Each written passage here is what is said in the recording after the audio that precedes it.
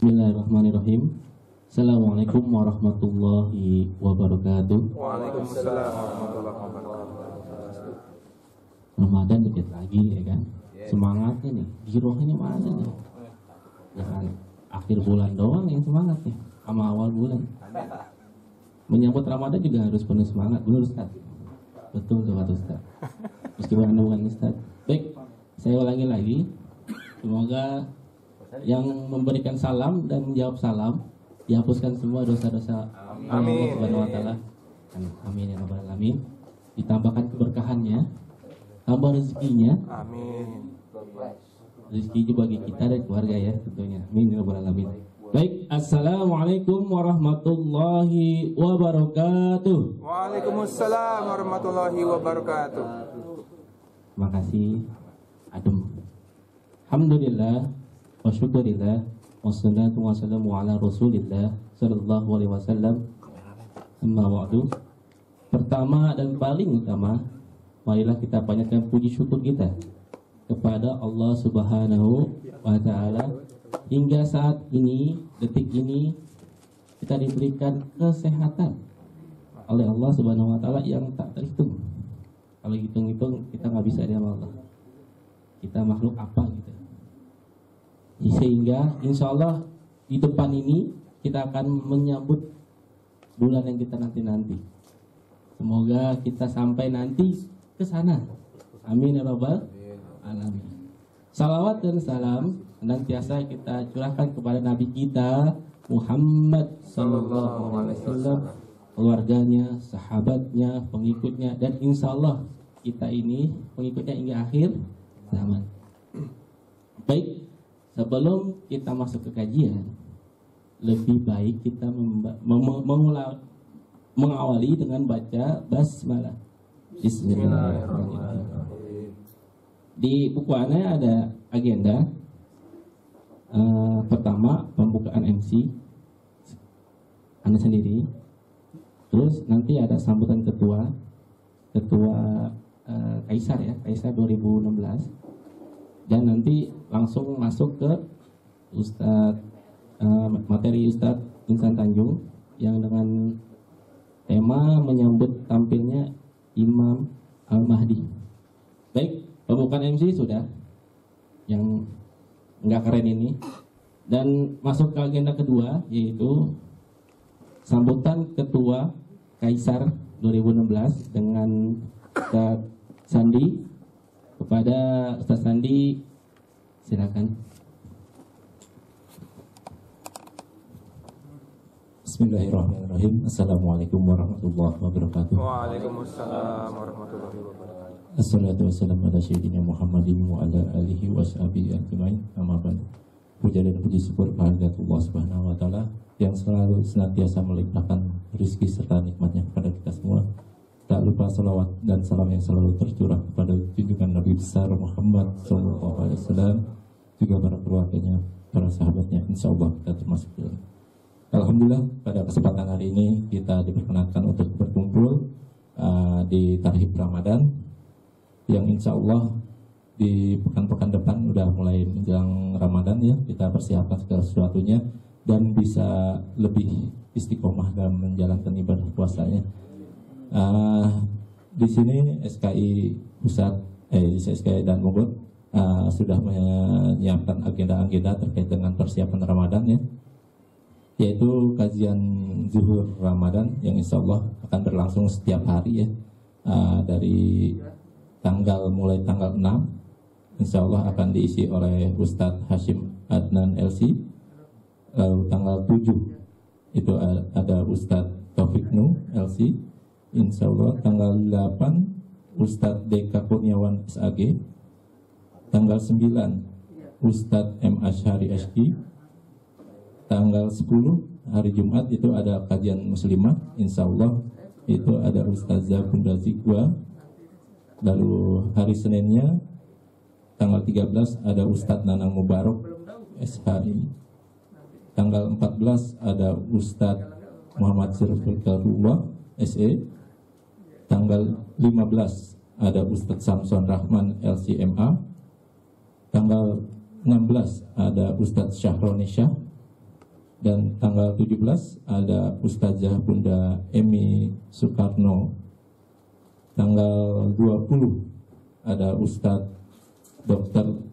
Otong Surahman MA tanggal 21 Ustadz Hilman Fauzi M Uh, tanggal 22 Ustadz Dr. Adian Husaini tanggal 23 Ustadz Adnan Rahman Arman Rahman MA tanggal 24 kajian muslimah ada Ustazah Bunda uh, Kinkin uh, tanggal 27 ada Ustadz Sukairi Abdillah MBA tanggal 28 ada Ustadz Ad Adam Ibrahim Esko tanggal 29 ada Abdul Muzakir Al-Hafiz. Tanggal 30 ada Ustadz Yahya Al-Zikri. Dan terakhir itu tanggal 1 Juli kajian muslimah akan diisi oleh Bunda Asrivo uh, itu nanti akan uh, materi-materi uh, terkait dengan kegiatan Ramadan uh, Kaisar Ramadan Indosat dan Moga. Juga tidak lupa nanti di sini ada juga kegiatan lomba ya, tasin tafisnya.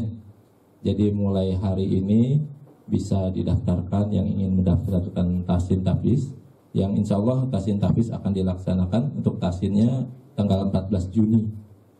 Tanggal 14 Juni sedangkan tafisnya tanggal 21 Juni untuk pelaksanaan lomba. Dan ada tambahan juga untuk uh, lomba puisi Ramadan. Itu insya Allah akan diadakan di tanggal 23 Juni berbarengan dengan acara iftar jama'i ya, yang insya Allah uh, akan ada santunan juga di situ. Baik, uh, kurang lebihnya mohon maaf yang bisa disampaikan. Uh, demikian ya bila itu hidayah wassalamualaikum warahmatullahi wabarakatuh Waalaikumsalam. baik terima kasih Kak Sandi uh, Iwan tolong bisa maju dikit deh. Masalahnya ntar ada 2000 orang yang masuk nih. Uh, maju dikit. Nih Ustaz. Wah, subhanallah tahun depan kita nggak bisa ngundang dia, beliau nih. Alhamdulillah tahun ini bisa. Wah, terima kasih Ustaz. Baik, kita langsung masuk ke materi. Uh, materinya, oh ya sebelum itu uh, kebetulan Ustaz kita membawa uh, karya ya, karya yang ada di pojok belakang itu. Ada tiga tiga, tiga judul. Yang pertama boleh jadi kiamat sudah dekat. Yang ini ya. Nah. Yang kedua mewaspadai fitnah al-masih ad-dajjal. Nah, yang ketiga ini menyambut tampilnya al-mahdi. Mungkin uh, kali ini akan dibahas oleh Ustadz kepada Ustadz uh, Insan Tanjung. Uh,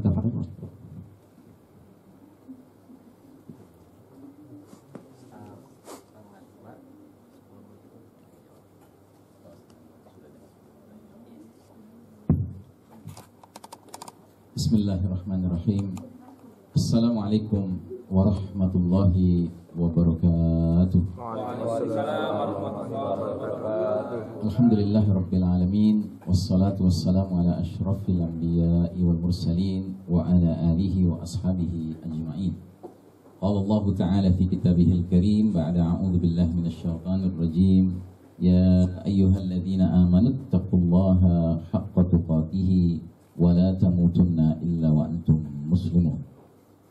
Hadirin jamaah rahimakumullah alhamdulillah pada siang hari ini kita diizinkan Allah untuk berkumpul dalam rangka mempersiapkan diri menyambut Syahrul Azim, Syahrul Mubarak, Syahrul Ramadan, bulan yang agung, bulan penuh keberkahan, bulan Ramadan.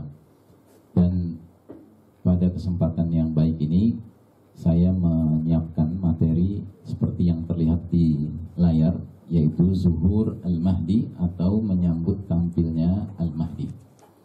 Perlu saya jelaskan bahwa tema ini adalah tema yang termasuk salah satu dari sekian tema kajian akhir zaman yang memang beberapa tahun belakangan ini saya memfokus kepada pembahasan ini mengingat bahwa sebenarnya kita semua umat Islam sudah sepatutnya mengambil manfaat sebesar-besarnya dari hadis-hadis nubuah, hadis-hadis ramalan-ramalan Nabi SAW yang makin hari semakin terlihat kebenarannya. Ya. Dan sejujurnya masih banyak di antara kita yang sebenarnya tidak terlalu peduli dengan hadis-hadis nubuah ini. Padahal semakin kita eh, melihat situasi dan kondisi dunia sekarang ini dikaitkan dengan alamatus sa'ah, tanda-tanda sudah semakin dekatnya as-sa'ah, maka kita akan semakin menyadari bahwa tampaknya memang dunia ini sudah benar-benar memasuki usia senja ya. Nah, oleh karenanya kalau Anda perhatikan dari buku-buku yang tadi diumumkan yang kami memang eh, tulis ya, itu ada yang berjudul la'alla sa'ata takunu qaribah. Boleh jadi kiamat sudah dekat. Ya. Itu bukan kata-kata saya, itu kata-kata Allah Ta'ala dalam surah Al-Ahzab ayat 63. Ya, di mana Allah ketika Nabi Muhammad SAW mendapatkan ejekan dari kaumnya, kaum musyrikin Quraisy, ya, dikatakan dalam ayat itu, yas'alukan nasu anis sa'ah manusia kaum musyrikin Quraisy bertanya-tanya kepada engkau Muhammad mengenai kapan akan terjadinya as-sa'ah. ya. Dan ini pertanyaan bukan pertanyaan serius, tetapi ini pertanyaan ejekan. Jadi kaum musyrikin Quraisy itu pada umumnya tidak mau menerima ajakan tauhid yang disampaikan oleh nabi kita sehingga penolakan mereka terhadap tauhid menyebabkan mereka menolak semua akibat tauhid yang salah satunya adalah mengimani akan datangnya hari akhir. Sehingga mereka mengejek ya, yas'alukan nasu anis sa'ah. Manusia bertanya kepadamu Muhammad mengenai as-sa'ah. Qul innama ilmuha indallah. Kata Allah, jawab pertanyaan mereka itu dengan mengatakan sesungguhnya pengetahuan tentang perkara itu hanya ada di sisi Allah Ta'ala. Jadi tidak seorang manusia yang tahu kapan akan terjadinya as-sa'ah.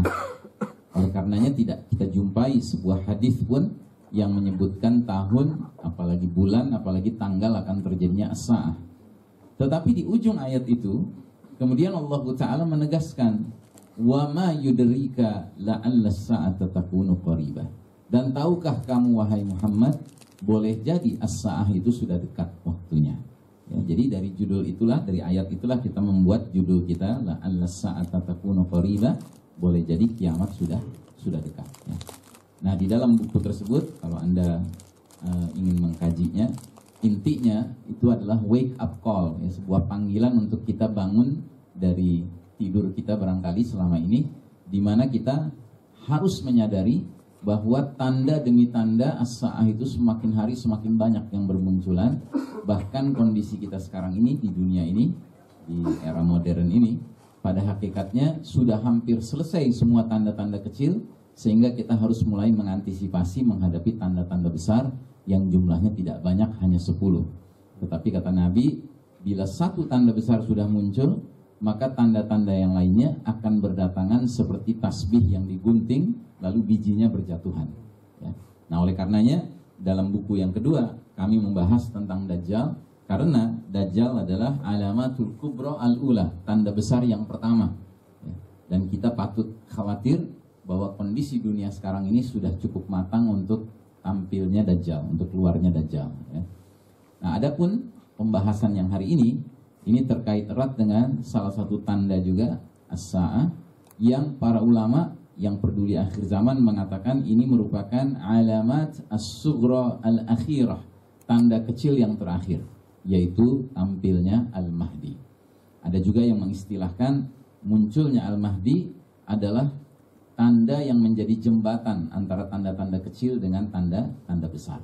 Ya. Nah, baik. Apakah yang dimaksud dengan Al-Mahdi? Al-Mahdi ini bukan nama seseorang, tetapi Al-Mahdi adalah gelar. Gelar seorang laki-laki yang maknanya adalah laki-laki yang mendapat petunjuk. Itu Al-Mahdi. Sedangkan secara definisi, kita mengenal Al-Mahdi ini merupakan sosok Amirul Mukminin di akhir zaman. Pemimpin orang-orang beriman di akhir zaman yang akan mengantarkan kita berpindah dari babak yang penuh kezaliman menuju babak yang penuh keadilan. Ya. Jadi kalau kita perhatikan dalam sebuah hadis yang cukup panjang, hadis yang sering disebut sebagai hadis roadmap peta perjalanan umat Islam, Nabi Muhammad SAW menyebutkan dalam hadis ini ringkasan sejarah umat Islam sejak awal mula Nabi Muhammad SAW diutus sampai kelak nanti berakhirnya umur umat Islam. Ya, Berakhirnya umur umat Islam itu ditandai dengan bertiupnya angin lembut dari Yaman untuk mencabut ruh orang-orang beriman sampai orang yang imannya paling rendah, paling ringan sekalipun asalkan dia masih punya iman akan diwafatkan dengan angin lembut tersebut. Dan kalau angin lembut tersebut sudah bertiup dan seluruh orang-orang beriman sudah diwafatkan, di dunia ini masih ada manusia yang tersisa, mereka yang disebut dengan syirarin nas, manusia-manusia yang paling buruk, ya. Yang dalam hadis kata Nabi, la taqumu sa'atu illa ala syirarin nas. Tidak akan terjadi peristiwa dahsyat kiamat kecuali menimpa atas orang-orang yang paling jahat. Ya. Jadi orang-orang ini adalah orang-orang kafir 24 karat ya yang sama sekali tidak ada imannya dan mereka kalau sudah menjadi penghuni bumi ini tanpa ada orang beriman sama sekali, tentunya mereka akan melakukan berbagai kemungkaran yang semakin hari semakin dahsyat sampai akhirnya Allah mentakdirkan mereka pantas mengalami ya azab berupa as-saah, datangnya peristiwa dahsyat as-saah. Nah, berdasarkan hadis ini, Nabi kita menerangkan bahwa ringkasan sejarah umat Islam ya, itu hanya terdiri dari lima babak dan babak demi babak itu berganti seiring dengan bergantinya karakter kepemimpinannya. Babak pertama disebut oleh Nabi kita dengan sebutan an-nubuwah ya, yang saya garis bawahi itu. An-nubuwah takunun nubuwatu fikum masyaallahu an takuna thumma yarfa'uha idza syaa ayyarfa'aha. Babak kenabian akan berlangsung selama masa yang Allah kehendaki. Ketika Allah berkehendak, maka Allah akan mengangkatnya, mencabutnya, maka berlalulah babak tersebut. Nah, babak tersebut ditandai dengan yang menjadi pemimpin langsung adalah Nabi kita, Nabi Muhammad Sallallahu Alaihi Wasallam. Sejak awal beliau diutus pada usia 40 tahun sampai beliau berpulang ke rahmatullah pada usia 63 tahun. Ya, jadi babak kenabian itu hanya berlangsung hmm, 23 tahun ya, 23 tahun. Ya, dengan pembagian kalau kita mau buat pembagian dan memang biasanya dibuat pembagiannya oleh para ahli sejarah kenabian ya mereka menyebutnya dengan ada fatrah Makkiyah dan ada fatrah Madaniyah. Ada periode di Mekah sebelum hijrah dan ada periode di Madinah setelah setelah hijrah. Ya kita bisa menyebutnya babak 1A dan babak 1B gitu ya side A side B gitu. Ya. nah setelah berlalunya babak pertama itu kata Nabi SAW muncullah era atau babak kedua khilafatun ala minhajin nubuwah.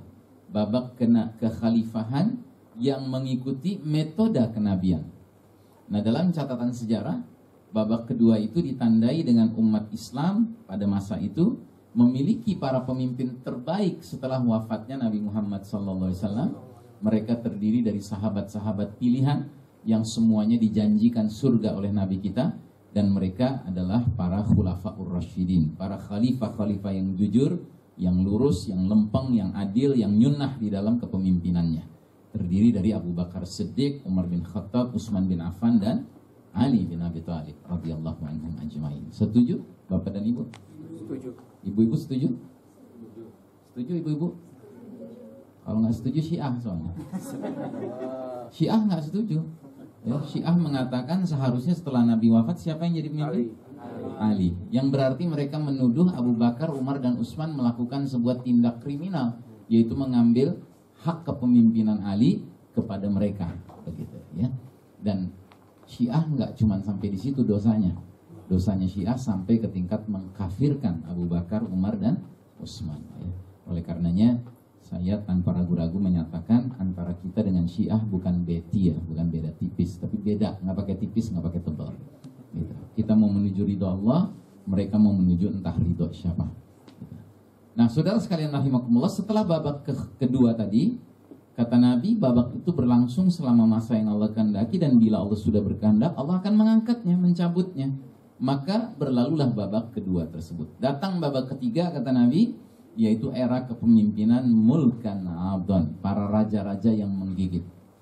Nah, dalam catatan sejarah, Mulkan Adon ini memimpin cukup lama, hampir 12 hingga 13 abad sendiri.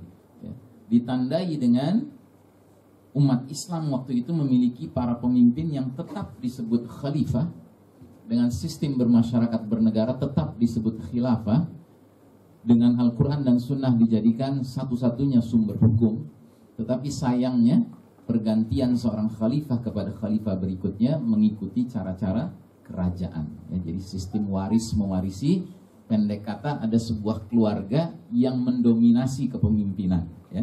Makanya kita kenal dalam catatan sejarah di babak ketiga ini adanya Daulat Bani Umayyah misalnya ya, anak keturunan Umayyah begitu. Ada Daulat Bani Abbasiyah, anak keturunan Abbas ya Kemudian ada khilafah Utsmani Turki ya kan.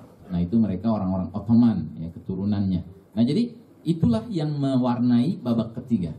Jadi di babak ketiga itu umat Islam memiliki para pemimpin yang di satu sisi khalifah tetapi di lain sisi raja juga gitu. Jadi secara formal institusionalnya tetap disebut khilafah dengan kepemimpinan formalnya disebut khalifah, tapi dalam prakteknya itu seperti raja-raja gitu.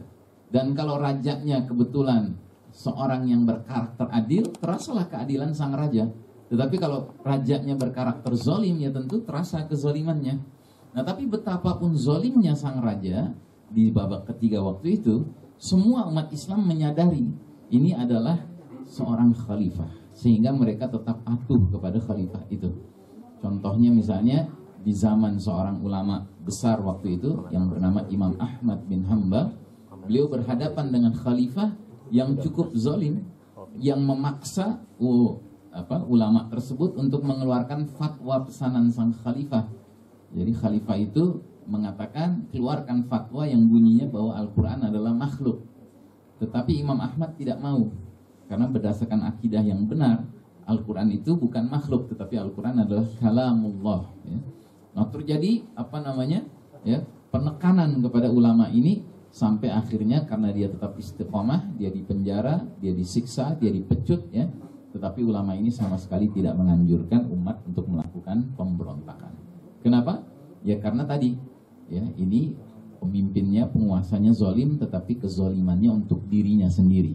Ya, secara kepemimpinan dia tetap memenuhi kriteria standar sebagai ulil amri minkum, pemimpin di antara orang-orang beriman, yaitu mengembalikan urusan kepada Al-Quran dan dan Sunnah. Ya. Nah, babak ketiga ini akhirnya berlalu juga, sebagaimana kata Nabi, dia akan berlangsung selama masa yang Allah berkehendaki. Maka ketika Allah sudah berkehendak, Allah akan mengangkatnya, berlalulah babak ketiga. Nah, babak ketiga berakhir, datang babak keempat, yang kata Nabi, muncullah para mulkan jabariyah, para penguasa yang memaksakan kehendak mereka.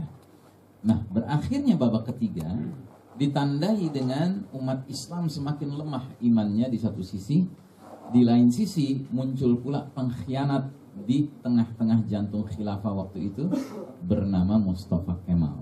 Ya. Jadi Mustafa Kemal ini adalah Kemal, Kemal. Kenapa? Ada yang nama. Oh. Pakai Mustafa juga. Baik, jadi ada Mustafa, ada Kemal gitu. Baik. aja, Pak. Jangan sering-sering dipersatukan. Menggigit, Pak. Baik, nah jadi Mustafa Kemal ini adalah seorang yang berdarah Yahudi, ada darah keturunan Yahudi, yang sejak kecil dididik oleh guru-guru Yahudi dan ketika dewasa dia belajarnya kuliahnya ke barat, ke Perancis ya. Nah sepulangnya dia dari barat, dia membawa sebuah ajaran yang intinya mengajak umat Islam untuk meninggalkan semua konsep-konsep Islam yang sudah usang kata dia dan kalau kita mau maju nggak ada jalan lain kita harus mengekor kepada bangsa-bangsa yang sudah maju terlebih dahulu. Maksudnya kita harus mengekor kepada Eropa. Nah oleh karenanya puncaknya Mustafa Kemal ini yang mengusulkan ide fundamental yakni pembubaran sistem khilafah yang sudah berlangsung ribuan tahun semenjak Nabi pertama kali mencontohkannya di kota Madinah sampai ya tahun 1924 Masehi 1342 Hijriah. Lalu dia mengusulkan khilafah dibubarkan dan dirikan mendirikan negara modern sekuler berfaham nasionalisme Turki. Dan karena ini terjadi jantung khilafah, maka ibarat lokomotif, gerbong-gerbong lainnya mengikut kepada arah lokomotif itu tanpa kecuali negeri yang kita cintai karena Allah bernama Nusantara ini. Nah, jadi mulailah sejak saat itu dunia menyaksikan beralihnya kepemimpinan dunia dari umat Islam selama ribuan tahun kepada Barat, ya, kepada Eropa dan dan Amerika. Ya, jadi mulailah sejak saat itu kita umat Islam merasakan babak keempat kepemimpinan para penguasa-penguasa yang memaksakan kehendak mereka. Dan seiring dengan itu pula mulailah kita merasakan kebenaran ramalan Nabi mengenai Juhridobin. Juhridobin itu artinya lubang biawak. ya. Nabi pernah meramalkan 15 abad yang lalu, ya, sungguh kalian akan mengikuti kebiasaan umat-umat sebelum kalian, sejengkal demi sejengkal, sehasta demi sehasta, sehingga sekiranya mereka masuk ke dalam lubang biawak sekalipun, kalian ikut bersama mereka. Lalu para sahabat bertanya-tanya, ya Rasulullah, al Yahuda wan Nasara, Ya Rasulullah, apakah yang kau maksud adalah kaum Yahudi dan Nasrani? Nabi balik bertanya, Faman, siapa lagi kalau bukan mereka? Who else? Ya. Nah, para sahabat dahulu kala tidak bisa membayangkan kok bisa-bisanya suatu ketika nanti umat Islam akan mengekor kepada kaum Yahudi dan Nasrani. Mereka dulu tidak bisa membayangkan, tapi kita yang hidup ditakdirkan hidup di era modern sekarang ini, kita bukan saja memahami hadis itu, tetapi kita bahkan yang mengalaminya. Ya. Jadi dunia sekarang kan dipimpin Barat, Barat kafir Yahu- Yahudi Nasrani. Ya, tidak lain tidak bukan mereka adalah the Judeo-Christian Society. Dan kita hari ini untuk mencari seorang yang mengaku Muslim tetapi cara berpikirnya, berkelakuannya kayak Yahudi Nasrani sulit apa mudah? Ya mudah sekali. Gitu. Apalagi kalau sudah malam tahun baru. Ya kan?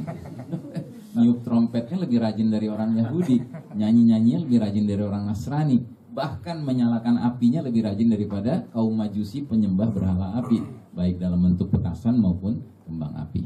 Nah, jadi saudara sekalian rahimakumullah, kita sekarang di babak keempat ini. Nah, babak keempat ini bisa kita katakan merupakan the darkest chapter of the Islamic history. Ini babak paling kelam dalam sejarah umat Islam.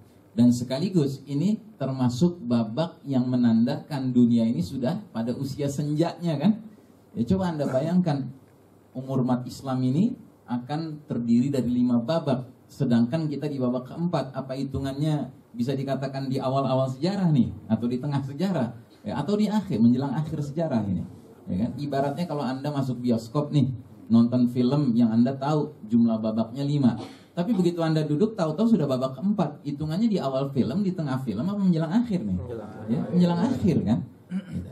Nah, maka saudaraku rahimakumullah, kita semua harus menyadari kita sudah berada di babak keempat. Ya, yang berarti perjalanan dunia ini sudah sangat lanjut sekali.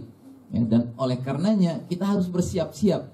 Ya, karena babak keempat ya, ini umurnya kita tidak tahu sampai kapan, tetapi yang jelas babak keempat ini adalah babak di mana umat Islam babak belur. Ya. That's reality, itu realitas. Ya. Coba anda bayangkan, di babak pertama yang mimpin Nabi, di babak kedua para khulafaur rasyidin yang mimpin, di babak ketiga memang raja-raja, tapi raja-raja yang tahu sistem khilafah. Gitu. Cuma masalahnya kan suksesinya saja yang niru cara kerajaan. Tetapi mereka paham gitu bahwa eh, kaum muslimin harus dinaungi oleh sebuah pemerintahan Islam sehingga di zaman itu nggak ada orang yang bingung kalau dengar istilah kafir dhimmi. Kalau sekarang ada di antara kita yang atau anda semua ngerti nggak istilah kafir dhimmi? Eh? Ngerti kan? Kafir zimmi itu artinya orang kafir tinggal di bawah pemerintahan Islam, dilindungi dia, dinaungi perlindungan oleh pemerintahan Islam. Syaratnya apa? Dia harus bayar jizyah setahun sekali. Jizyah itu pajak non Muslim ya besarnya nggak banyak. Ya. Dulu di zaman Khalifah Umar bin Khattab ya orang-orang di Syam ya di bawah naungan pemerintahan khilafahnya Umar bin Khattab mereka itu orang-orang ahli kitabnya dikenakan cuman 40 dirham setahunnya. Satu dirham itu 70 ribu rupiah kali ya, 40 berapa? Cuman 2,8 juta rupiah kan? Tapi dengan imbalan apa? Imbalannya perlindungan nyawa dan harta orang-orang non muslim ini oleh pemerintahan Islam. Artinya, kalau ada musuh menyerang negara Islam, maka pemerintah Islam berkewajiban melindungi orang-orang ahli kitab yang rajin bayar jizyah ini, harta mereka dan nyawa mereka. Sambil mereka tinggal duduk manis saja di rumah. Ya. Nah, sekarang kita mana ada yang tahu istilah kafir zimmi kan? Ya. Malah kita sekarang diperlakukan sebagai muslim zimmi sekarang. Yang juga nggak dilindungi banget sih. Udahlah dikenakan pajak nggak keruan gitu kan. Kemudian nggak dilindungi juga gitu nyawanya dan hartanya. Jadi dunia sudah terbalik sekali di babak keempat ini.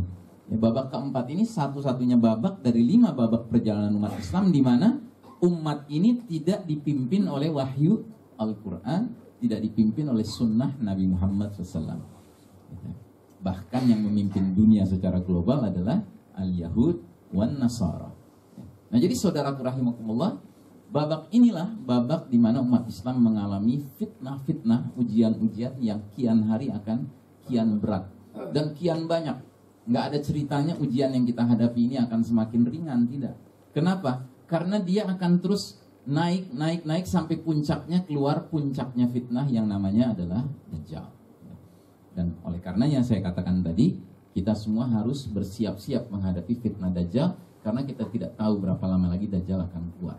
Walaupun the good news is, ya kan, Dajjal nggak akan keluar sebelum Al-Mahdi tampil terlebih dahulu.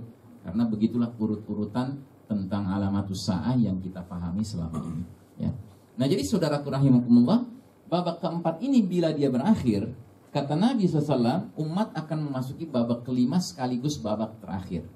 Kata Nabi, "Tsumma takunu khilafatan ala minhajin nubuwah." Kemudian akan datang babak kelima yaitu babak kekhalifahan yang mengikuti metode kenabian.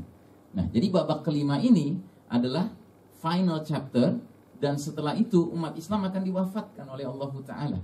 Jadi bisa kita simpulkan bahwa perjalanan umat Islam ini akan berakhir dengan husnul khatimah, dengan happy ending pada akhirnya. Jadi jangan ada seorang pun di antara kita yang menyangka saking digdayanya peradaban modern barat kafir ini bahwa dunia ini akan berakhir seperti ini. Tidak. Ya. Allah Ta'ala tidak akan mengizinkan dunia ini berakhir sebelum Allah membuktikan janjinya liyuzhirahu ala dini kullih. Allah akan memenangkan agama ini atau segenap agama lainnya. Itu pasti itu mutlak. Karena Allah kalau berjanji tidak mungkin mendustakannya. Nggak kayak kebanyakan pemimpin zaman sekarang. Gitu. Suka berjanji tapi juga paling pertama yang suka mendustakannya. Nah jadi saudaraku rahimakumullah kapan babak kelima ini muncul Nah itulah sebabnya kita harus membahas tema hari ini Menyambut tampilnya Al-Mahdi. Sebab di antara tanda penting bahwa kita sudah beralih dari babak keempat ke babak kelima adalah Zuhur Al-Mahdi Tampilnya Al-Mahdi. Nah jadi ini kira-kira mukaddimah dari kajian kita menyambut tampilnya Al-Mahdi. Kemudian sebelum saya lanjutkan juga perlu saya beri catatan. Di tengah masyarakat Biasanya kalangan yang paling aktif membicarakan soal Al-Mahdi adalah kaum Syiah. Kaum Syiah itu dominan sekali membicarakan soal Al-Mahdi. Saking dominannya mereka membicarakan tentang Al-Mahdi, sampai-sampai orang muslim yang awam, kalau mendengar ada seorang da'i, seorang ustadz membicarakan Al-Mahdi, dia akan curiga, wah ini ustadz ini kayaknya ke Syiah-Syiahan nih. Gitu. Padahal Al-Mahdi adalah konsep yang datang dari Nabi Muhammad sallallahu alaihi wasallam. Oleh karenanya perlu saya beritahu jauh-jauh hari bahwa pengertian Al-Mahdi yang Nabi ajarkan dengan pengertian Al-Mahdi menurut versi kaum Syiah itu sangat jauh berbeda. Contohnya apa? Di kalangan kaum Syiah, mereka meyakini yang namanya Al-Mahdi itu sebenarnya sudah ada, tetapi raib sekian abad yang lalu. Ya, dia raib ketika usianya masih kanak-kanak. Nah, tapi mereka tahu bahwa Al-Mahdi itu akan muncul di akhir zaman. Ya. Dan yang cilakanya lagi, raibnya Al-Mahdi versi mereka itu membawa Al-Quran Fatimah, Quran yang sebenarnya. Sehingga selama berabad-abad umat ini nggak punya Quran. Makanya mereka punya konsep imamah. Tahu konsep imamah? Konsep imamah itu artinya mempercayakan hak menentukan halal haram kepada imam, kepada pemimpin. Makanya mereka apa kata imam itu ditelan bulat-bulat. Termasuk apa yang keluar dari tubuhnya imam juga mereka telan. Karena mereka yakini itu suci. Ya. Terus yang kedua, pemahaman mereka tentang Al-Mahdi adalah Al-Mahdi itu sosok yang bisa melakukan hal-hal supranatural. Sedangkan kita kaum muslimin tidak ada pemahaman seperti itu. Buat kita Al-Mahdi itu walaupun dia spesial karena dia ditunjuk Allah menjadi pemimpin orang-orang beriman di akhir zaman, tapi bukan berarti dia manusia yang mempunyai hal-hal supranatural, tidak. Dia manusia biasa. Nah, apa yang supranatural menurut kaum Syiah tentang Al-Mahdi versi mereka? Menurut mereka, jika Al-Mahdi nanti sudah tampil, Al-Mahdi itu mempunyai kesanggupan menghidupkan orang yang sudah mati. Dan yang mereka yakini akan dihidupkan oleh Al-Mahdi adalah Abu Bakar dan Umar bin Khattab. Untuk apa? Untuk disalib, disiksa sampai mati. Dzalik. Ya. Makanya sekali lagi saya ingatkan ya, mungkin masih ada di antara kita yang nggak ngerti tentang Syiah sama sekali. Ya, to make a long story short gitu ya, simpelnya saja antara kita dengan Syiah bukan beti pak, bukan beda tipis, beda, nggak pakai tipis nggak pakai tebal. Sebab bagaimana mungkin kita dengan mereka bisa sama kalau mereka tega-teganya mengkafirkan sahabat-sahabat mulia seperti Abu Bakar dan Umar bin Khattab dan Utsman bin Affan dan istri Nabi Aisyah radhiyallahu anha, Hafsah binti Umar bin Khattab ya radhiyallahu anha. Bagaimana mungkin kita bisa berukhuwah dengan mereka? Ya, kalau mereka berani-berani mengkafirkan para sahabat. Ya. Sedangkan kita tahu hadis Nabi yang terkenal, jika seorang Muslim menuduh kafir seorang muslim lainnya lalu tuduhannya keliru kembalinya kepada siapa? Kepada? Yang nuduh. yang menuduh kan? Berarti yang menuduh jadi jadi kafir kan? Begitu. Nah sekarang kira-kira kalau ada orang mengaku muslim menuduh Abu Bakar As-Siddiq itu kafir benar atau salah tuduhannya? Hah? pasti salahnya nggak boleh ragu anda menjawab itu. Kenapa? Karena Abu Bakar Siddiq itu sahabat yang bukan sekedar Nabi Muhammad SAW sudah jamin akan menjadi penghuni surga tapi bahkan sahabat yang sampai diabadikan di dalam sebuah ayat dalam Al-Quranul Karim. Subhanallah. Ya, yaitu surat At-Taubah ayat 40 yang menceritakan Nabi Muhammad SAW hijrah ya berdua dengan seseorang yang disebutkan di dalam surat dan ayat tersebut. Baik, saudara sekalian rahimakumullah, kita mulai dengan general identity dari Al-Mahdi, ya, identitas umum dari dari Al-Mahdi. Namanya, asal usulnya, saat kemunculannya dan ciri-ciri fisiknya. Ya. Secara nama dalam hadis dikatakan, "Lau lam yabqa min ad-dunya illa yawmun latawwala Allahu dzalikal yawma thumma ittafaqu hatta yub'atsa fihi rajulan minni aw min ahli baiti yuwati usmusmi wasmu abismu abi." Artinya, sekiranya dunia ini tidak tersisa kecuali tinggal sehari, maka Allah Ta'ala akan memanjangkan hari itu sehingga Allah mengutus seorang laki-laki dariku yang dari atau dari keluargaku yang namanya mirip dengan namaku dan nama bapaknya juga mirip dengan nama bapakku. Jadi para ulama kita ya condong meyakini bahwa Al-Mahdi itu namanya adalah Muhammad bin Abdullah atau Ahmad bin Abdullah. Itu dari segi dari segi nama. Kemudian yang kedua, asal apa namanya? asal usulnya. Dikatakan dalam hadis riwayat Abu Daud, Al-Mahdi min itrati min waladi Fatimah. Al-Mahdi itu dari keturunanku, jalur keturunanku dari Fatimah. Ya, Fatimah binti Muhammad yang dinikahi oleh sahabat Ali bin Abi Thalib. Dan kita tahu dari Ali dan Fatimah, Nabi mendapatkan cucu laki-laki dua orang, yaitu Hasan dan Hussein. Ya. Dan Nabi Muhammad SAW pernah mengatakan bahwa kedua cucuku ini ya kan akan menjadi penghulu atau pemimpin para pemuda di jannah kelak nanti. Begitu. Nah, bagi kita kaum muslimin, Al-Mahdi itu tidak masalah mau dia itu keturunan Hasan kah, mau dia itu keturunan Husain kah. Buat kita kilahuma khair. Dua-duanya baik-baik saja, mungkin-mungkin saja. Ya, walaupun sebagian ulama ahlus sunnah ada yang sedikit lebih menekankan bahwa dia kemungkinan besar keturunan Hasan. Tapi bagi kita, kalaupun dia ternyata keturunan Hussein, no problem. Tapi kalau bagi kaum Syiah, Al-Mahdi itu harus keturunan Hussein. Kenapa? Karena Syiah ini agama rasialis. Ya, agama Persia pada hakikatnya. Sedangkan Hussein itu pernah menikahi seorang putri Persia. Makanya imam-imam kaum Syiah itu semuanya dari jalur Hussein ini. Makanya kan kalau kita dengar orang Syiah itu mengatakan mereka mencintai semua ahlul bait, tapi nyatanya mereka diskriminatif. Mana pernah kita mendengar mereka mengagung-agungkan Hasan? Yang ada mereka mengagungkan Husain terus kan? Sedemikian hebatnya mereka mengagungkan Husain sampai kalau mereka pergi berperang lalu mengantongi sebuah kertas tulisannya Husain, mereka yakin nggak bakal mati. Gitu. Saking mereka mengagung-agungkan kalau nggak bisa dikatakan mengkultuskan Husain. Baik. Nah, kemudian yang ketiga, hadir di saat penghujung umur dunia ini. Ya tadi sudah kita bicarakan dan ini juga hadisnya menekankan bahwa seandainya umur dunia tinggal sehari Allah akan panjangkan hari itu ya sehingga Allah mengutus Al-Mahdi. Sedangkan dalam hadis tentang perjalanan umat Islam tadi, ringkasan sejarah umat Islam, Al-Mahdi itu akan muncul untuk menandai beralihnya kita dari babak keempat menuju babak ke kelima. Ya otomatis dong berarti di ujung perjalanan kan? Gitu. Karena babak kelima itu babak terakhir, sedangkan dia munculnya di ujung dari babak ke keempat. Kemudian yang keempat, general identity-nya secara fisik kita tidak punya banyak hadis ya. Hadis yang satu inilah satu-satunya yang bisa dikatakan hadis tentang ciri fisik Al-Mahdi. Al-Mahdi yumini ajlal jabhati aqnal anfi. Al-Mahdi itu dari keturunanku, dahinya lebar dan hidungnya mancung. Ya. Nah, ini semua adalah general identity dari Al-Mahdi. Dan tentunya jangan sekali-kali ketika kita sudah mengerti general identity Al-Mahdi seperti ini, terus kita kemudian menilai seseorang hanya berdasarkan general identity. Wah, kacau tuh nanti urusannya. Ya. Misalnya Anda nyari telepon directory, nyari orang namanya Abdullah, teleponin satu-satu punya anak namanya Muhammad nggak? Begitu punya, wah ini Al-Mahdi gitu, ya kan?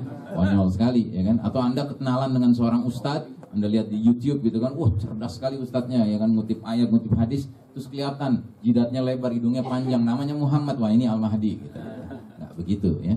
Jadi ini fungsinya supplementary factor untuk mengokohkan pemahaman kita secara keseluruhan tentang Al-Mahdi. Dia bukan primary factor ya, bukan faktor utama. Kemudian yang kedua, apa peristiwa-peristiwa atau prakondisi-prakondisi menjelang tampilnya Al-Mahdi? Nabi Muhammad SAW menyebutkan ada tiga prakondisi. Jika tiga-tiganya sudah lengkap, berarti kita harus mulai bersiap-siap untuk menyambut tampilnya Al-Mahdi. Hadisnya berbunyi sebagai berikut. Ubashirukum bil mahdiyyi yub'atsu fi ummati ala ikhtilafin minan nasi wa zalazil. Fayamla'ul ardu qistan wa adlan kama muliat jawran wa zulman.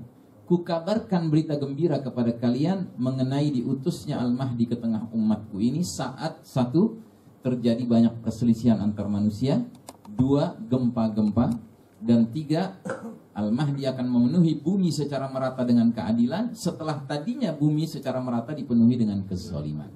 Jadi ada tiga prakondisi kalau tiga-tiganya sudah hadir kita harus siap-siap. Jangan-jangan Al-Mahdi muncul nggak lama lagi.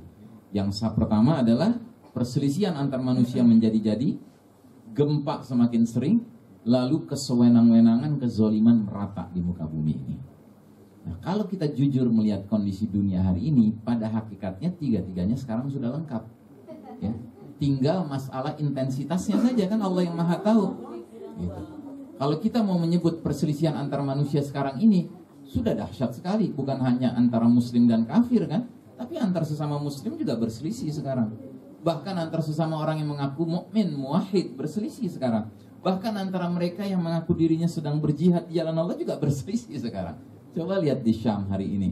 Ya faksi-faksi mujahidin tidak kunjung bisa dipersatukan. Bahkan nggak jarang kita dengar kabar mereka saling tembak menembak satu sama lain. Ya, perselisihan sudah sangat dahsyat sekarang. Ya. tapi Allah maha tahu sampai ke level apa intensitas perselisihan barulah Allah mengutus Al-Mahdi itu rahasia Allah Ta'ala. Begitu juga dengan gempa.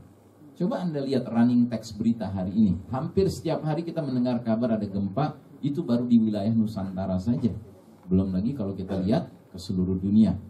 Terus yang ketiga, kezoliman. Ya kezoliman sekarang kira-kira merata atau Anda mengatakan, oh gua zolim di negara-negara lain di Indonesia mah adil banget gitu. Ya kan?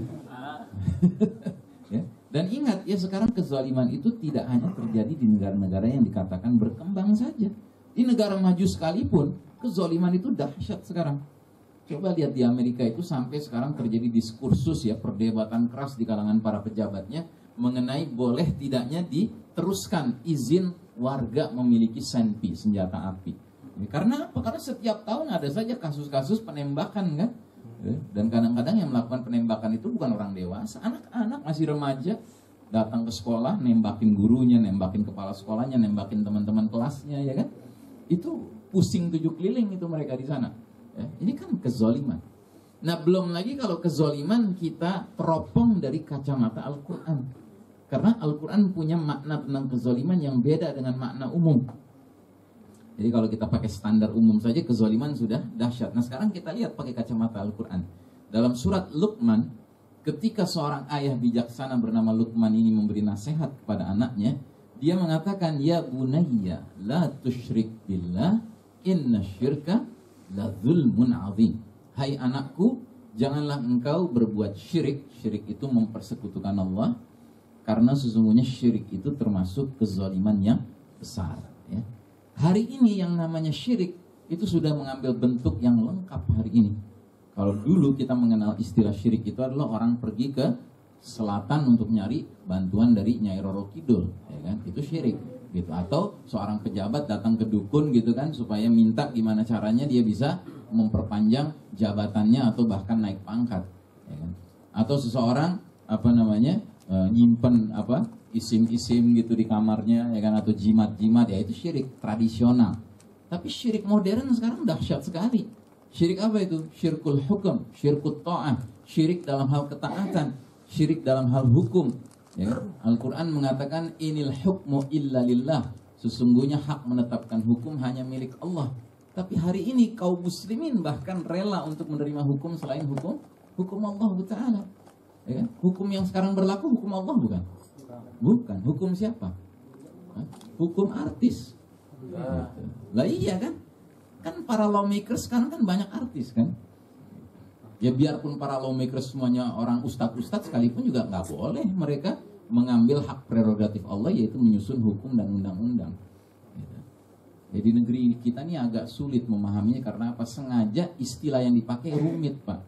Coba deh anda nanya ke tukang ojek, tanya sama tukang ojek, bang, ngerti nggak pekerjaan yang namanya alek? Pasti mereka bingung. Apaan tuh alek? Gitu colek-colek katanya gitu. Ya. Anda jelaskan sama dia. Itu singkatan bang, singkatan anggota legislatif. Nah, ngerti nggak pekerjaan anggota legislatif? Pasti nggak ngerti dia. Karena dibikin rumit di negeri ini. Ya. Pekerjaan yang sama kalau di Amerika julukannya sederhana, lawmaker, pembuat hukum. Jadi pembuat hukum itu orang yang sangat besar dosanya. Karena apa? Dia yang kemudian merumuskan apa-apa yang diberlakukan di tengah masyarakat yang berarti mengajak masyarakat rame-rame meninggalkan hukum hukum Allah Subhanahu wa taala. Tapi hari ini ini sudah dianggap sebagai apa namanya business as usual gitu.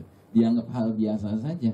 Padahal this is a very serious matter gitu. Ini syirik, ini dosa mempersekutukan Allah karena kita berarti mentaati selain aturan dan hukum Allah Subhanahu wa taala. Berarti kita menerima selain Allah boleh menentukan halal dan haram. Nah jadi kalau kita lihat dari segi apa-apa yang menjadi mukaddimah kemunculan Al-Mahdi sekarang ini sudah lengkap. Gitu. Makanya saya sering mengingatkan kita ini jangan terlalu sibuk dengan apa yang jadi rutinitas kita. Kenapa? Karena sebentar lagi dunianya akan berubah. Ya, kita akan menghadapi perubahan-perubahan yang sangat dramatis, bahkan fundamental.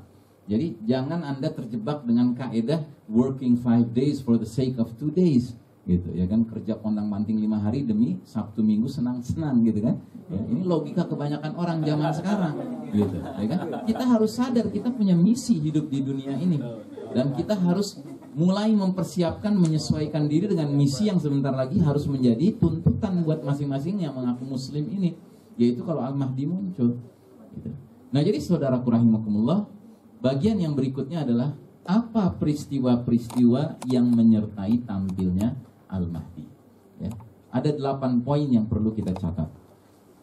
Kemunculan Al-Mahdi ditandai dengan adanya chaos perselisihan saat wafatnya seorang pemimpin. Ya. Kemudian ada seorang laki-laki ahli Madinah yang lari menuju ke Mekah untuk mencari keselamatan di Ka'bah. Tapi ternyata sesampainya dia di Ka'bah, dia didatangi oleh sejumlah orang yang jumlahnya mirip seperti pasukan perang Badar. Kira-kira 313 orang. Ya. Lalu kemudian orang-orang ini ditanamkan oleh Allah keyakinan bahwa laki-laki inilah Al-Mahdi. Sehingga mereka meminta laki-laki ini mengulurkan tangannya ya di depan Ka'bah khususnya di antara Hajar Aswad dengan makam Ibrahim. Jadi kalau kita lihat gambarnya di situ ya.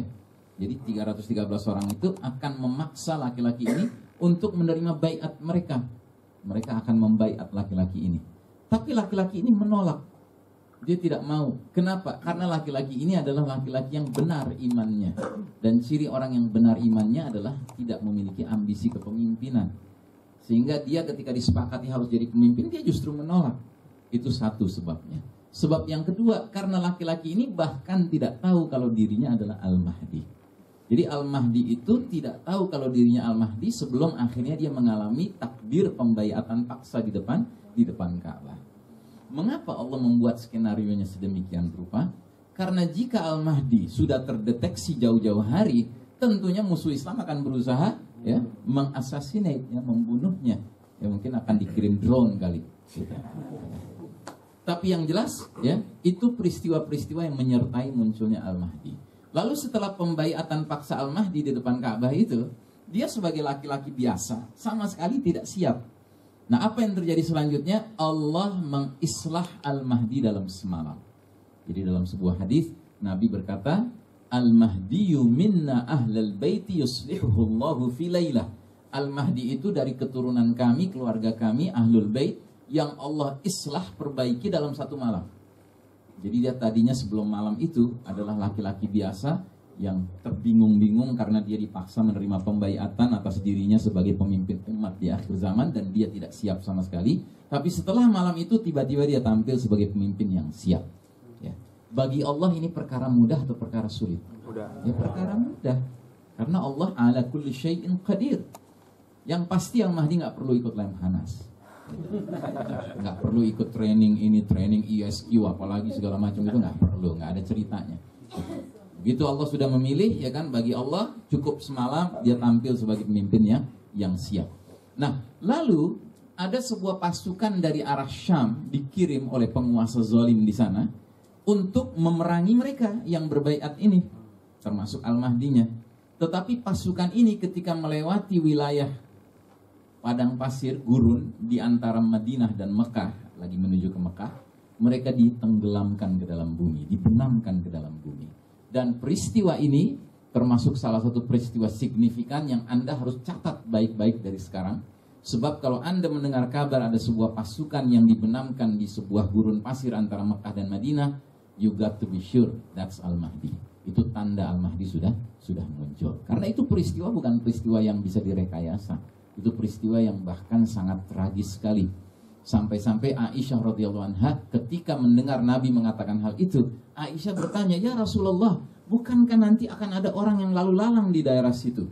Ya kenapa Aisyah bertanya demikian? Karena gurun padang pasir itu termasuk mencakup tempat yang bernama Zulhulaifah. Anda tahu Zulhulaifah itu apa? Kadang-kadang disebutnya Bi'ir Ali. Ya, itu artinya tempat mikot orang kalau mau pergi umroh dari Madinah ke Mekah itu pakai ihramnya di situ. Atau orang mau pergi haji dari Madinah ke Mekah itu mampirnya di situ untuk pakai ihram. Sehingga Aisyah bertanya-tanya, "Ya Rasulullah, bukankah di situ akan ada orang-orang lain yang lalu lalang? Apa mereka ikut dibenamkan juga ke dalam bumi?" Kata Nabi, "Semua akan dibenamkan ke dalam bumi." Tetapi mereka akan dibangkitkan di hari berbangkit nanti sesuai niatnya masing-masing. Ya kan? yang tentunya niatnya sebagai tentara yang ingin menangkap memerangi Al-Mahdi mereka ya dibangkitkan dengan niat itu yang niatnya mau pergi umroh atau haji ya dibangkitkan dengan niat umroh atau haji begitu nah tapi yang pasti ini termasuk salah satu peristiwa yang menyertai tampilnya Al-Mahdi bahkan peristiwa ini adalah peristiwa yang sangat fenomenal yang menyebabkan umat Islam yang tadinya di negeri-negeri lain begitu mendengar kabar pembenaman pasukan di Baida ini mereka segera berdatangan untuk membaiat Al-Mahdi. Mereka menjadi gelombang kedua, gelombang ketiga, dan gelombang seterusnya setelah gelombang pertama yang jumlahnya 313 orang tadi. Nah kemudian, ya, berdatanganlah kaum muslimin dari berbagai penjuru dunia, termasuk tentunya kaum muslimin dari negeri-negeri yang sekarang kita dengar sudah melakukan kegiatan yang namanya al-jihadu fisabilillah. Berarti berdatanganlah muslimin yang sudah biasa perang, sehingga gelombang-gelombang berikutnya ini adalah gelombang kaum muslimin yang segera menjadi pasukan dari Al-Mahdi. Nah, oleh karenanya, ya, ini sudah punya kekuatan berarti Al-Mahdi, ya. Muncullah seorang laki-laki keturunan Quraisy yang paman-paman dari jalur ibunya, sukunya bernama suku Kalb. Nah, laki-laki Quraisy ini ya membawa pasukan untuk memerangi Al-Mahdi dan pasukannya Tetapi takdir Allah dalam kontak fisik pertama ini, Al-Mahdi dan pasukannya Allah berikan kemenangan. Lalu kata Nabi, rugilah orang-orang yang tidak kebagian harta rampasan perang suku Kalb. Ya, suku Kalb ini dicurigai adalah suku yang memiliki kekayaan yang sangat luar biasa. Gitu. Nah, jadi eh, terus poin ke-8 yang perlu menjadi catatan bahwa pasukan pendukung Al-Mahdi ciri khasnya mengibarkan bendera berwarna hitam. Gitu. Ya, Anda tidak perlu kemudian langsung pikirannya ke kelompok tertentu saja, tidak. Karena hari ini yang mengibarkan bendera hitam itu bukan satu kelompok, tapi banyak kelompok. Ya. Di Irak dan Syam udah jelas mengibarkan bendera hitam. Tapi di Syam sendiri ada bendera hitam yang lain lagi. Di Yaman ada bendera hitam, di Afghanistan ada bendera hitam, ya di Somalia ada bendera hitam, di Tunisia hari ini ada bendera hitam, di Libya ada bendera hitam. Jadi bendera hitam itu banyak sekarang dikibarkan oleh kaum muslimin yang sedang bergolak di berbagai penjuru penjuru dunia. Ya. Kita tentunya berhusnuzon kepada Allah Ta'ala, bersangka baik kepada Allah Ta'ala. Munculnya Al-Mahdi menjadi perajut berbagai bendera hitam yang berbagai kelompok sekarang ini. Gitu. Wallahu a'lam bissawab. Baik, mari kita lihat hadisnya. Eh, hadisnya berbunyi, akan terjadi perselisihan saat matinya khalifah. Jadi Nabi jelas-jelas memilih kata khalifah. Ya, ini yang menarik. Selama ini para ulama akhir zaman yang peduli tentang hadis-hadis soal Al-Mahdi mengartikan khalifah di situ sebagai pemimpin. Dan pemimpin yang dimaksud tentu terkait dengan negara di mana Al-Mahdi akan dibaiat. Al-Mahdi akan dibaiat di kota apa? Di kota Mekah ya, di depan Ka'bah. Ka'bah itu kan di Mekah ya. Kecuali kalau ada yang bilang Ka'bah di Iran ya. nah, jadi berarti pemimpin negara mana itu yang mencakup Mekah? Hah? Raja Saudi kan? Ya. Nah, oleh karenanya lah ya, para pengamat tentang akhir zaman itu sangat peduli kalau dengar kabar seorang raja Saudi wafat. Karena apa? Kalau raja Saudi itu wafat, terjadi chaos di Saudi ya kan? Itu bisa dicurigai, di apa tengarai bahwa ini adalah saat-saat menjelang kemunculan Al-Mahdi. Contohnya seperti kemarin ketika raja Saudi yang bernama Abdullah wafat digantikan oleh Salman, itu banyak sekali yang mengamati apakah Saudi akan kacau atau tidak. Ternyata peralihan dari Abdullah ke Salman very smooth, ya kan? Sangat mulus sekali. Gitu. Nah, kemungkinan kalau Salman wafat ini mungkin heboh. Kenapa? Karena yang mestinya menggantikan Salman ini kan masih ada dua adiknya yang masih hidup. Tapi dua adiknya ini sudah sangat tua sekali.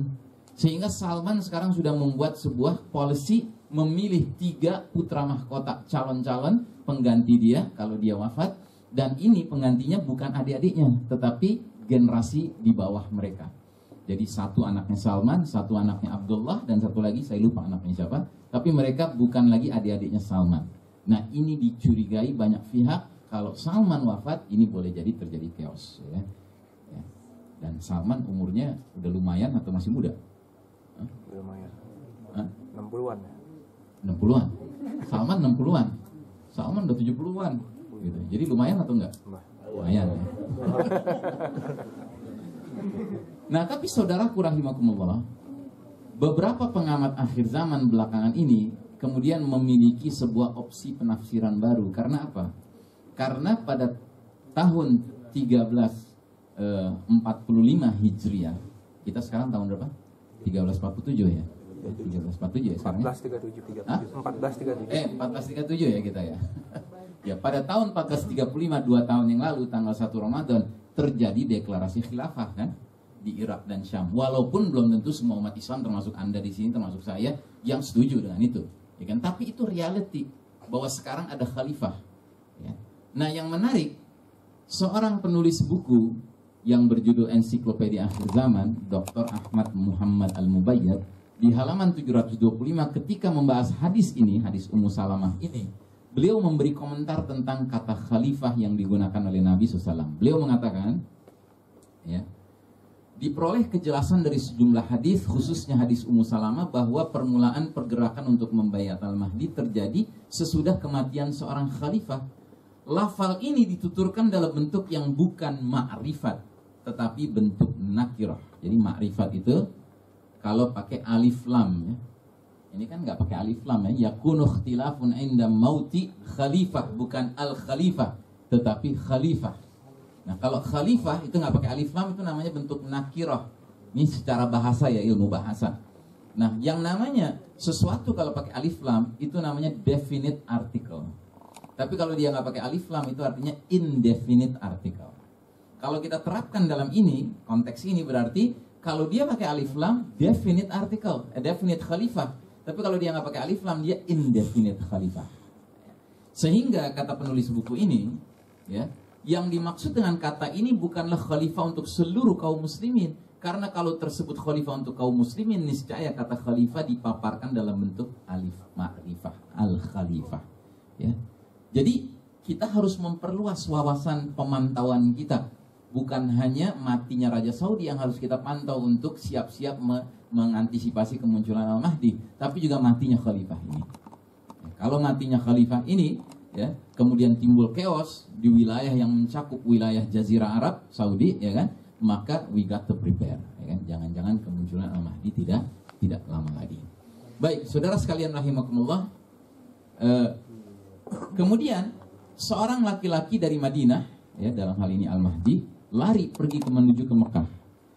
Kita tidak tahu apakah ada kaitan laki-laki ini lari dari Madinah ke Mekah karena terjadinya perselisihan, chaos gitu ya. Ya karena di hadis yang lain Nabi mengisyaratkan bahwa permasalahan ini terkait dengan perebutan kekuasaan tiga anak khalifah. Dikatakan dalam hadis ini Rasulullah SAW bersabda, tiga orang akan saling membunuh untuk memperebutkan harta perbendaharaan kalian. Mereka semuanya adalah anak khalifah. Kemudian harta tersebut tidak menjadi milik seorang pun di antara mereka. Jadi para putra mahkotanya itu nggak ada satupun yang akhirnya menjadi penggantinya. Ya. Nah jadi laki-laki ini lari dari Madinah menuju ke Mekah karena dia tidak ingin terlibat dalam kekacauan masalah ini.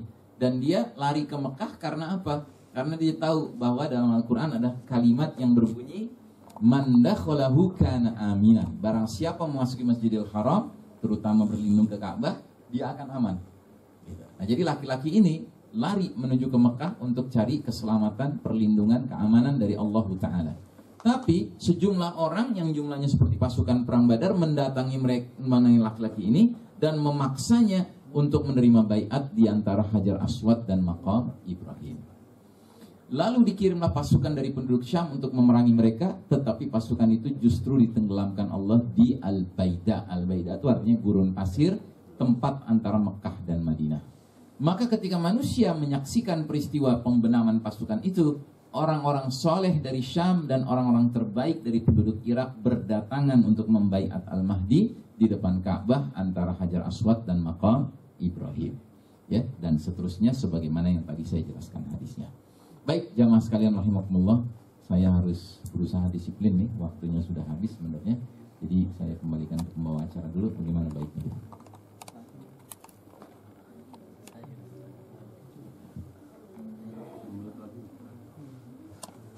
Baik, terima kasih kepada Ustaz Ustaz Tanjung telah memaparkan eh, materi menyambut tampilnya Al-Mahdi yang belum selesai. Mungkin bisa dikaji lagi dengan buku beliau yang ada di belakang itu. Eh, mungkin untuk tanya jawab kita eh, skip dulu karena waktu waktu tidak memungkinkan. Eh, oh iya, lima menit mungkin untuk tanya jawab. Ivan dan Ahmad mungkin satu-satu ya. Baik, ada yang bertanya? Mungkin saya Ustaz, eh, bagaimana keadaan umat eh, Islam ini yang di Indonesia ketika tahu nanti Imam Mahdi muncul di Mekah sana? Ya. Demikian.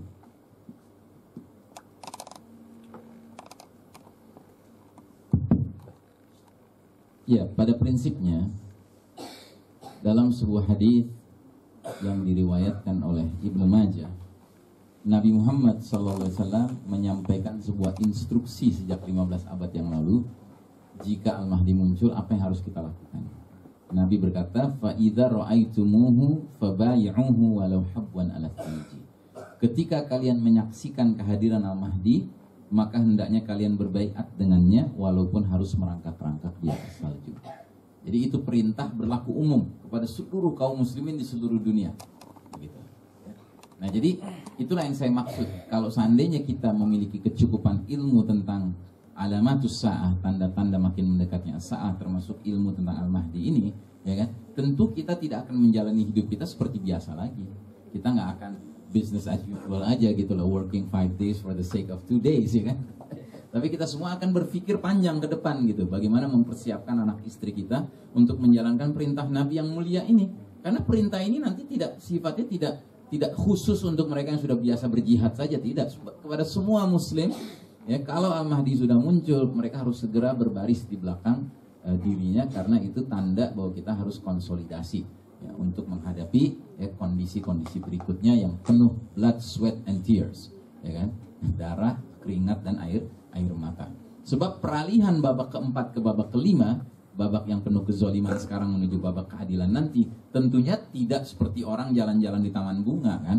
gitu ya kan? Nggak mungkin dong pemimpin kafir barat nantinya datang ke Al Mahdi bilang udah deh ya udah kita barter deh gantian. Lo yang mimpin sekarang gitu. Nggak mungkin dong di meja perundingan baik-baik gitu ya kan?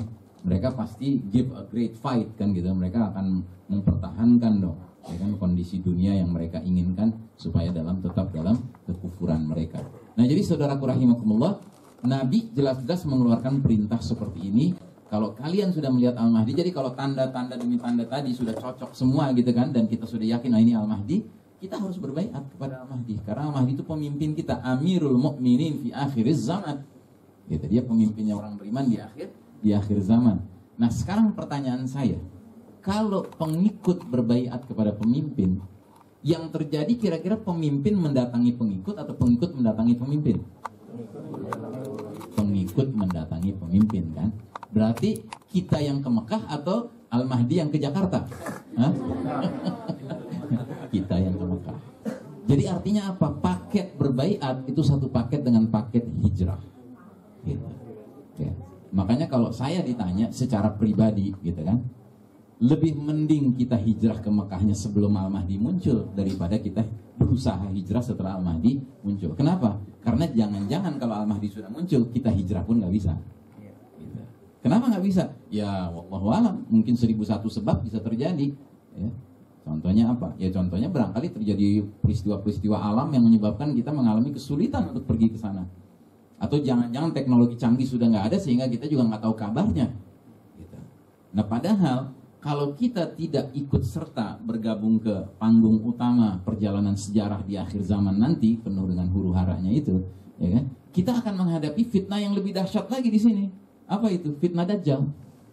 Sebab Dajjal itu secara kemunculannya nanti dia itu nggak ujuk-ujuk muncul di Syam lalu diperangi oleh Isa alaihissalam dibunuh tidak dia keliling dulu menebar fitnahnya ke mana-mana dan itu berarti dia ke daerah-daerah pinggiran termasuk negeri ini kan ini negeri pinggiran kan gitu.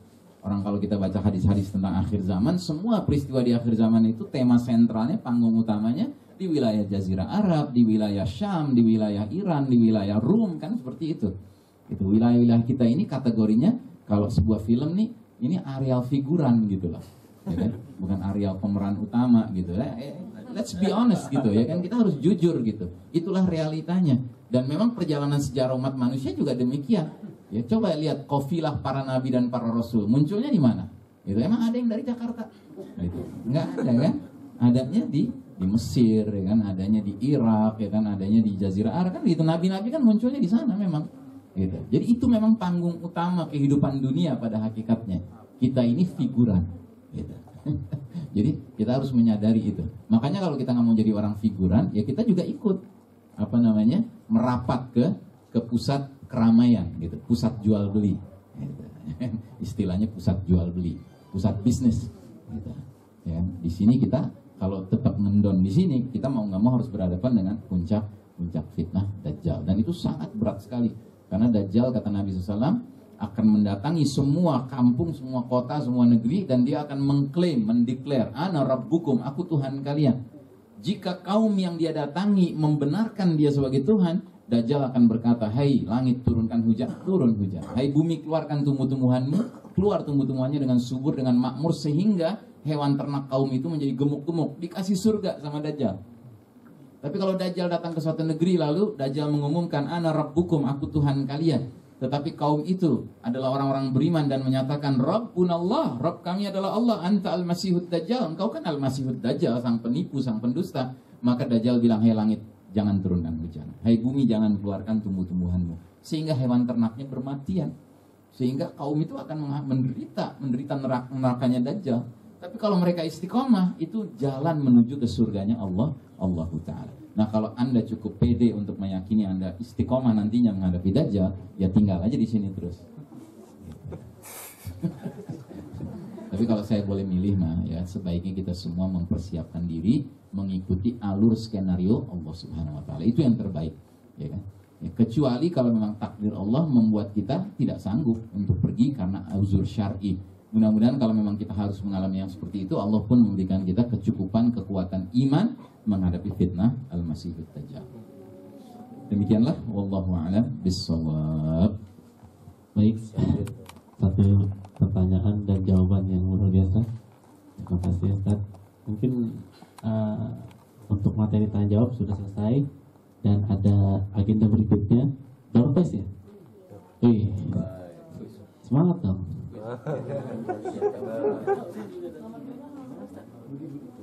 Ada enam. Dikocok. Oh iya. Ustaz nanti tolong dibantu. Avanza apa apa nih?